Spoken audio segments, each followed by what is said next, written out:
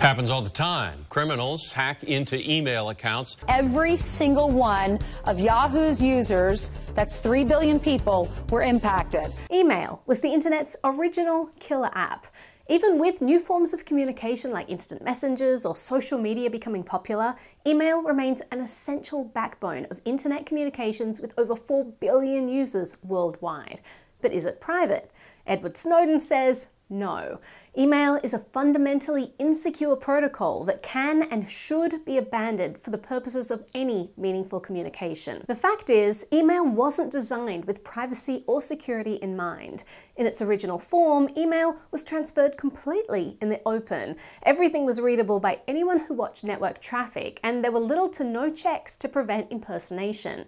But as email's importance grew, instead of overhauling the way it works to provide security and privacy, various protocols were layered over it to try to address these issues. But let's be honest, even though email is still inherently insecure, most people aren't going to just give up their email address. Not only do we rely on email for work, for communicating with loved ones, we also use email addresses to sign up to various websites, to reset our password.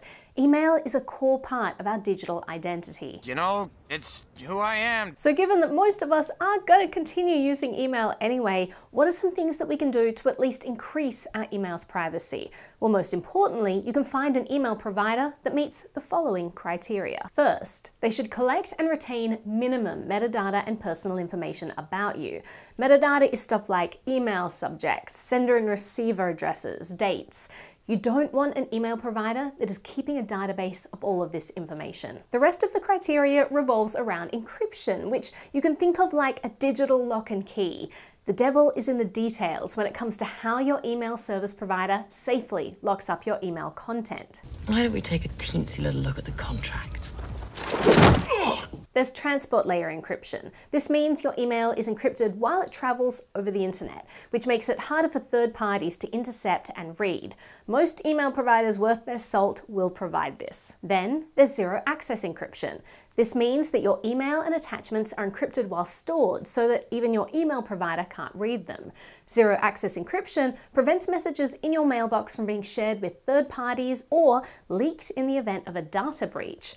But encryption and decryption still happens by the email provider themselves, and there is a split second in which the message is accessible to the email provider before it's encrypted. And finally, end-to-end -end encryption, which takes things a step further than zero access encryption. Instead of just storing emails in an encrypted way, encryption and decryption of emails happens entirely on a user's device, so that all the information the email provider receives is already encrypted. Given these criteria, how do the most popular email email providers stack up?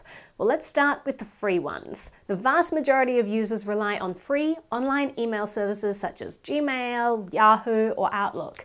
Gmail alone has 1.8 billion users, making up almost half of the entire email market share. Gmail, Outlook, and Yahoo actually do a good job with transport layer encryption and use TLS by default as long as the receiving email address supports it.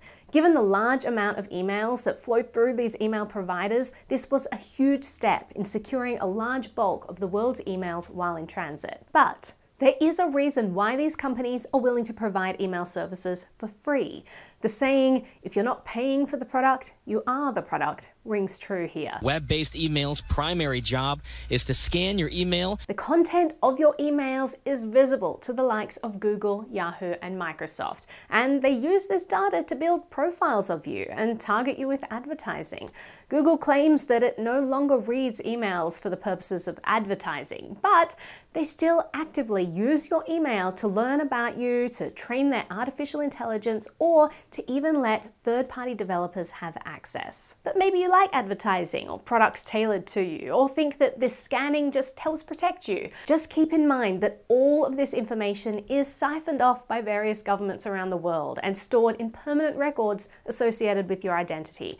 Given that regimes come and go, but this data isn't going anywhere, I'd think twice about what information I wanted floating out in the world. As these products can read your emails, they therefore don't have zero access or end-to-end encryption. So, although convenient and packed with features, these services aren't recommended if privacy is a concern. Instead, let's take a look at the two most popular private email providers, ProtonMail and Tutanota, and some lesser known alternatives. ProtonMail is probably the most popular privacy focused email service. It was one of the pioneers of zero access and end to end encrypted email. It comes with lots of useful features such as dedicated mobile apps, encrypted address books, and encrypted calendars. ProtonMail makes their money by providing a paid email service with enhanced features, but it's also possible to use their provider for free.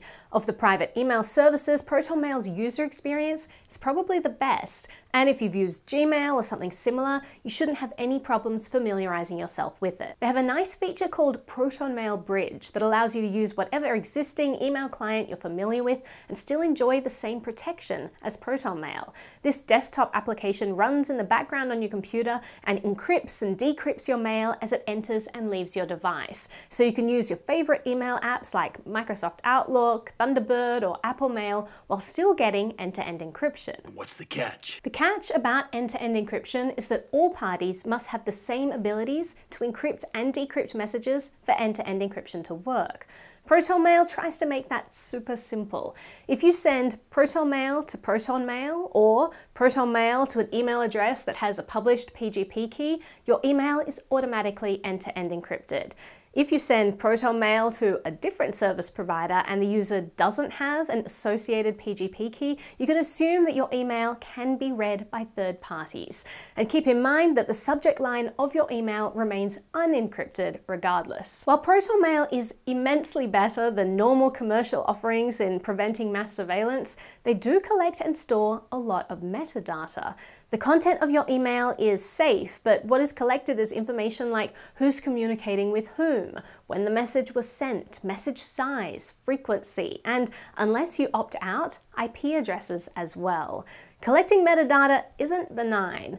As Edward Snowden once said, As an analyst, I would prefer to be looking at metadata than looking at content because it's quicker and easier and it doesn't lie. ProtonMail does publish transparency reports about their cooperation with law enforcement in sharing that data.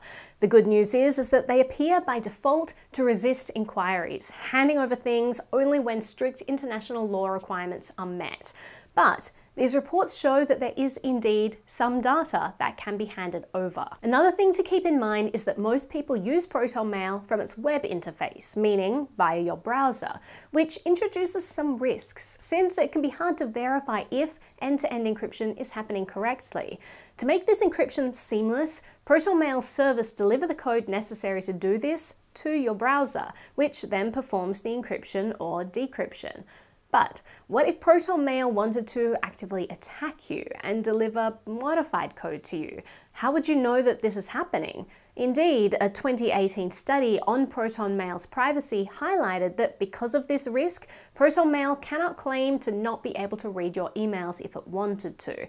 Now, to be fair to ProtonMail, this is a risk inherent when using a browser in general. It isn't always easy to balance ease of use with security, and ProtonMail does do a good job. Freedom of the Press Foundation has a great article which explains how to beef up ProtonMail's default settings even more, and it's worth checking it out. ProtonMail is almost completely open source, with the exception of their backend code, which they say is to prevent spammers from knowing how their mitigation works. And the trust issues mentioned would require you to be specifically targeted by someone with access to ProtonMail's infrastructure. But if you're a high risk profile like an activist, these issues are absolutely worth taking note of. Tutanota is another popular email provider that prioritizes privacy.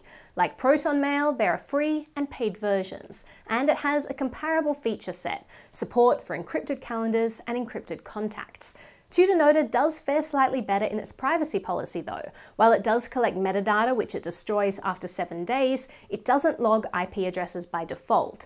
Though strangely, if you use Tor or a VPN, it may log that IP address. The official reason it gives is that it considers such information already anonymized and therefore no longer personally identifiable information.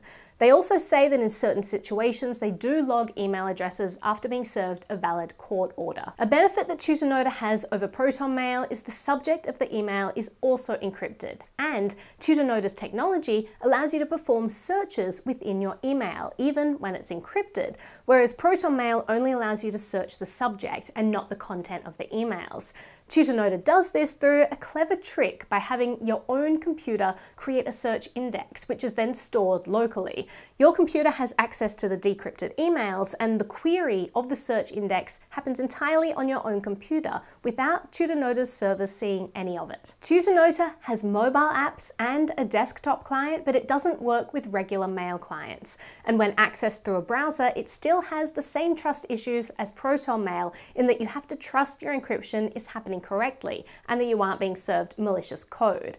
Another drawback is Tutanota's lack of support of standard PGP encryption, which means that if you want to send encrypted email to users outside Tutanota, you will need to share with them a pre-agreed password through another secure channel. There are quite a few other niche email options if you're looking for privacy, though they tend to be much more bare bones and lack the polish of ProtonMail or Tutanota. They're also more oriented towards tech-savvy people. To name a few, Posteo and Allude.in are good options, and if you're lucky enough to snag yourself an invite code, RiseUp and Countermail. What these services provide over ProtonMail or Tutanota are much less metadata retention, and some even have support for Tor Onion services. They still employ zero access encryption so that even they don't have access to your emails, but Unlike ProtonMail or Tutanota, many don't offer integrated and seamless end-to-end -end encryption, and instead rely on users to deal with PGP or plugins like Mailvelope to do it. For those requiring very high levels of privacy, especially those who are targeted and want to minimize metadata leakage, smaller privacy niche providers might provide better protection at the cost of a rougher user experience. But really want email privacy? One option is to get your own private email service. The highest level of privacy would require you to host your own email server. A server full of secrets ain't no thing but that requires a whole video of its own. And even then, as mentioned, email wasn't designed to be private, and that's why there are all these workarounds and hacky solutions. So you may want to opt out of email altogether in certain circumstances, and instead use secure messaging apps such as Signal, Wire, or Wickr. These apps were designed from the ground up to be private, so using them securely is a lot easier. At the end of the day, you need to understand your own risk profile. But regardless of who you are, it is a great idea for everyone to at least start exploring providers that don't harvest all the contents of your emails. And ProtonMail and Tutanota are good, solid choices with different trade-offs. Making a more conscious choice about the email provider you use is a great step towards reclaiming some privacy in your digital life.